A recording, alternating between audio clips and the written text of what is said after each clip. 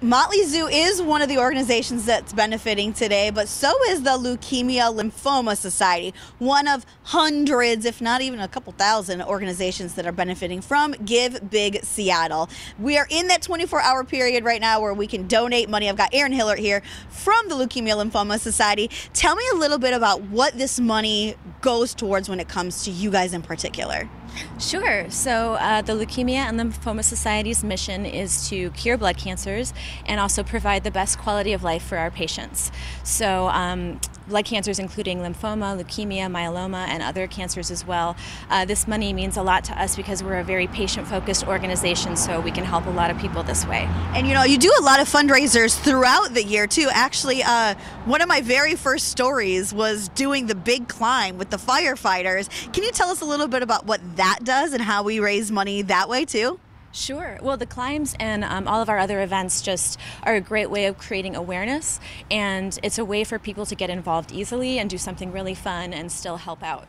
Yeah. Now, if there is um, a way that one person can donate money, whether it's five dollars, does five dollars help? I mean, we think about that being like a cup of coffee, right? And I mean, really, you can't even get a cup of coffee for five dollars.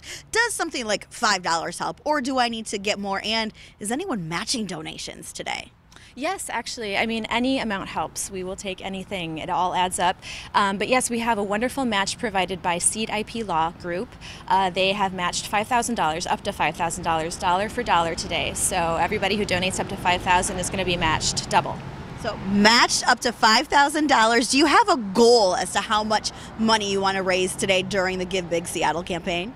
Uh, we definitely do. Um, last year we were able to raise 12,000 and we're shooting for 15,000 this year. So $15,000 if you want to donate to the Leukemia Lymphoma Society, or again, we're out at Motley Zoo Animal Rescue. You can donate to them, or one of the many organizations that are benefiting from this today. You can just go to givebigseattle.org, type in the name of the foundation that you want to, Leukemia Lymphoma Society, or again, wherever you want. And uh, it's easy to donate right over there. Again, the Seattle Foundation, trying to make it simple for us to give back to our community. Erin, thank you so much. Thank you, Ellen. Of course, guys, Bill, Liz, back on over to you.